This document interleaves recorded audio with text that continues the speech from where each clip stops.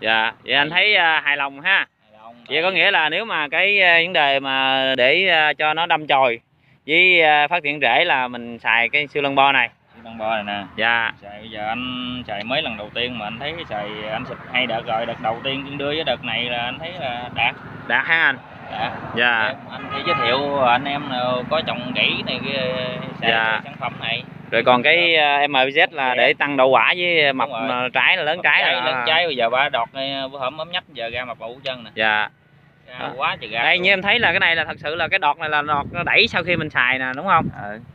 dạ. Bữa hổm nó cằn hết trơn rồi Đó, bây giờ nó đây. ra nè. Nè bây giờ nè nè thấy không nè nó đâm đọt trái lên nè. Đó. Mấy chèo giờ ra cũng mập nữa. Dạ. Đó thấy như chèo. Chèo ra mập trơn rồi dạ trái ra cũng nhưng mà anh có ra. thấy là cái lá nó mềm không? Đặc tính của con này là xịt vô anh thấy nó đòi ra đọt đậu trái nhưng mà anh thấy cái lá nó mềm không? Hay là lá nó vẫn Ờ, cứng ờ, mạnh khỏe? vẫn mạnh khỏe trung bình chứ nó không mềm đúng không nha ha nó cũng vừa cũng đều. Dạ. Chứ mà rẫy này hàng rẫy mà nếu anh xịt cái nào mà nó lá nó mềm quá là nó dễ nó dễ bị bệnh. Bị bệnh đúng rồi. Dạ. Ừ. này thấy cũng được. Dạ.